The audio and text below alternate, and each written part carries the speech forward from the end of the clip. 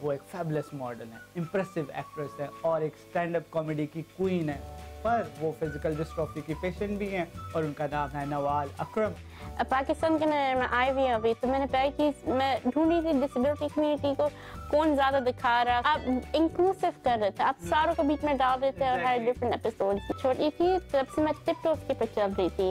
और मेरी अम्मी ने बहुत नोटिस करा और मेरी जो टांगे थी वो बहुत उसके ऊपर डिफॉर्मेशन हुई हुई थी। I am a stand comedian who can stand up How many chickens would it take to kill an ele- thousand Copper, copper, coffee pot.